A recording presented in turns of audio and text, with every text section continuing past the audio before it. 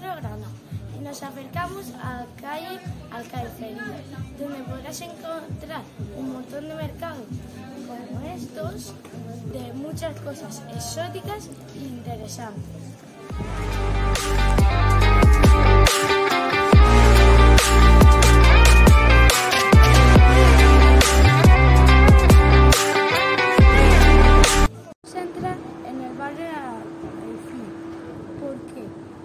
Importante para Granada, porque está inscrito en la lista del patrimonio eh, de cultura de la humanidad.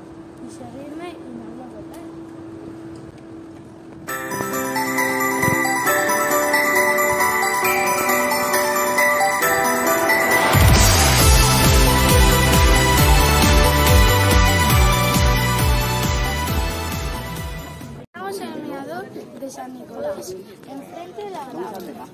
Y la Alhambra, para los árabes, significa Castillo Rojo. Y dice que la Alhambra, bajo las estrellas, se ve plateada y bajo el sol se ve dorada. Y hay unas pistas espectaculares.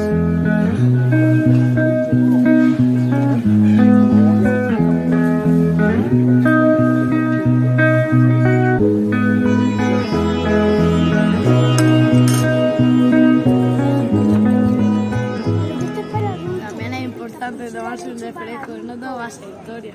iglesia de San Pedro y San Pablo, de mi padre y mío. Eh, y esta iglesia es románica del siglo XVI.